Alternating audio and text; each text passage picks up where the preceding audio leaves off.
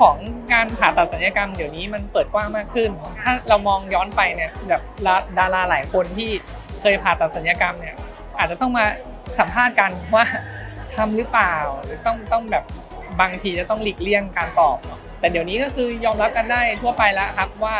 อ่าเราทำปากทำตาทำจมูกทำคาง หรือว่ามีการฉีดสารฟิลเลอร์อะไรเข้าไปฉีดเติมไขมันอย่างเงี้ยครับอันนี้เดี๋ยวนี้มันเปิดกว้างมากขึ้นเนาะเลยก็เลยทำให้เหมือน วงการศัลยกรรมทั้งในเรื่องของการผ่าตัดแล้วก็ไม่ผ่าตัดเนี่ยมันขยายตัวได้รวดเร็วมากนะครับในช่วง 5 ปีที่ผ่านมานี้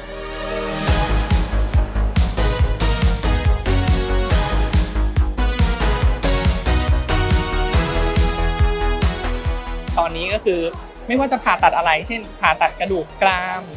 ลดขนาดใบหน้านะครับ ผ่าตัดจมูก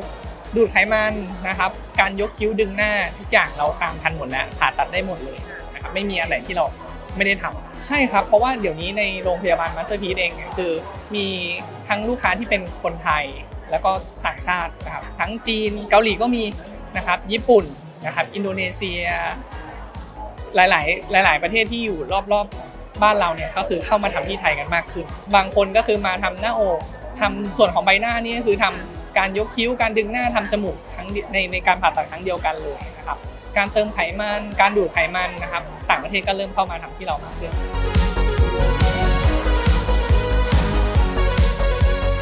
ต้องบอกว่าเรื่องนี้เป็นเรื่องสำคัญมากนะครับทีนี้ถ้าเราทำการผ่าตัดในไทยเนี่ยเรายังสามารถที่จะเช็คได้ว่าโรงพยาบาลไหนมีมาตรฐาน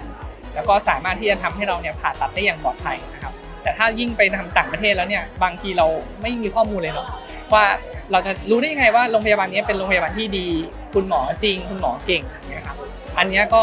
ต้องเลยเลยต้องบอกว่าการผ่าตัดในปัจจุบันเนี่ยที่ไทยเนี่ยสามารถที่จะทำได้มีประสิทธิภาพแล้วก็ปลอดภัยมากขึ้นด้วย